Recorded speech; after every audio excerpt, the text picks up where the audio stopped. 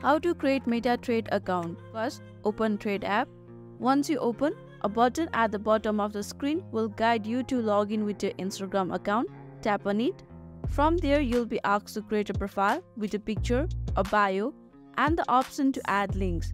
You can also import your information from Instagram. So whatever is in your current Instagram profile automatically migrates to Threads. For now, I'm going to tap import from Instagram. Now, Threads will ask you to choose between public and private profiles. With a public account, anyone on or off Threads can see your content. If private, your account will only be available to approved followers. So choose on your choice and tap on continue. After that, you can either instantly follow all the accounts you already follow on Instagram or choose who to follow manually. Now tap on the arrow icon on the top right corner of the screen. Finally, your account is now ready to go. So this is how you can create Meta Threads account. Hope you found this video helpful. Please don't forget to like this video and subscribe us for more tutorials. Thank you.